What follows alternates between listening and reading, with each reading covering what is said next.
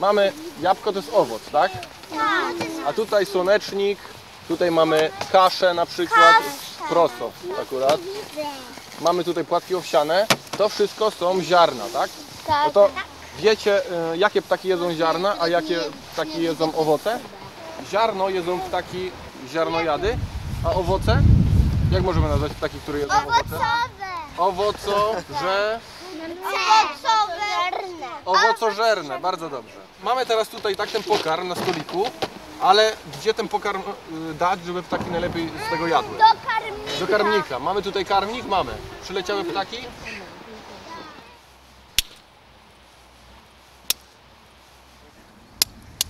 Dobra, teraz każdy weźmie trochę tego i dosypiemy do karmnika. Pomalutku na Spokojnie. boku starczy. Pomalutku rzeczy, które możemy... Pomalutku.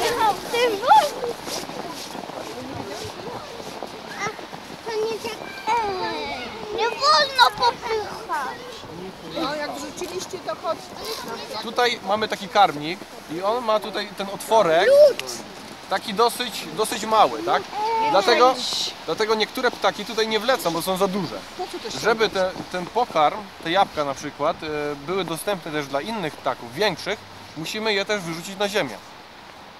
I najlepiej, najlepsze takie miejsce, gdzie możemy na ziemię, y, gdzie możemy dać takie jabłko, żeby ptaki czuły się bezpiecznie, żeby sobie mogły je jeść, to jest na przykład do krzaczka, tak? Czyli rzucamy te jabłko tu i zobaczcie, jak ptak tam będzie sobie to jabłko jadł, będzie otoczony przez te wszystkie gałęzie i będzie się mniej, mniej bał ludzi mniej, i innych ptaków. Daliśmy pokarm do karmnika, nie? I oddaliliśmy się od karmnika. I teraz trzeba poczekać, bo ptaki nie, przy, nie przylecą do karmnika, jak my jesteśmy obok. Ptaki się nas boją. Kto pierwszy zaobserwuje ptaka, ten na- ma nagrodę. Tam leci. I tam są. Chyba za bardzo się w nie wpatrujemy i się troszeczkę wstydzą. O, przyleciał ptak. Widzicie? O, o właśnie. Proszę, zobaczcie. Widzisz? Troszkę niżej chyba. Masz? Znalazłeś? Jest. I co, widać piękne ptaszki? I można obserwować ptaki nie podchodzą bezpośrednio do karmnika? Nie w nich? Super.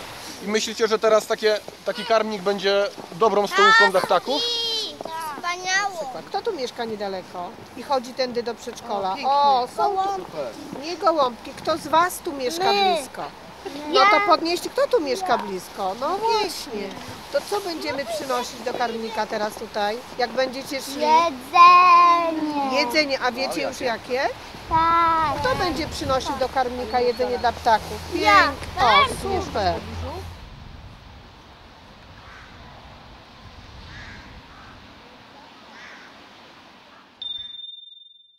I Słuchaj Gosiu, ten teren to jest cała moja młodość, ponieważ y, od małego mieszkałem tutaj na osiedlu Centrum D. Od 58 roku, od zasiedlenia bloku numer 6. Oglądam, co tu zostało z tego, co ja pamiętam ze swojego dzieciństwa, ze swojej młodości. No właśnie, a co tutaj było, Kaziu? Tutaj było lodowisko w zimie. Nie znam historii tego lodowiska. Opowiedz mi, jak to się stało, że ono tu powstało? Zaczęło się od tego, że zamieszkał na naszym osiedlu pan Wiktor Przybyła. On był opiekunem y, ogródka jordanowskiego, a nas było jak na tamte czasy bardzo dużo i organizowaliśmy jeszcze wtedy na takim klepisku różne zawody i dla siebie i dla mniejszych dzieci. Później dostarczono nam deski, zostały zrobione bandy, firma wylała y, asfalt, wyrównała. Co kto umiał, no to, to, to pomagał. Nad bandami były zabezpieczające siatki, a i tak w bloku, w bloku numer 4, no krążek może tak nie, ale latem piłka jednak Padała. niebezpiecznie zmierzała w kierunku y, okien w bloku czwartym. To znaczy dla nas to była oczywistość, że, że my wychodzimy y, Wprost z bloku z i bloku lodowisko. i, i mamy lodowisko, mamy boisko. Której zimy sekcja łyżwiarstwa figurowego Nowochódzkiego Hutnika Mhm. Przyjechała do nas y, z pokazami. I w 1977 roku zorganizowaliśmy mistrzostwa osiedla i rozgrywki w tenisie ziemnym. W tym czasie popularny był tenis, bo FIBA go odnosił sukcesy. Ka- Kazimierz, które miejsce z- z- zająłeś? No, zająłem zaszczytne drugie miejsce. Wow.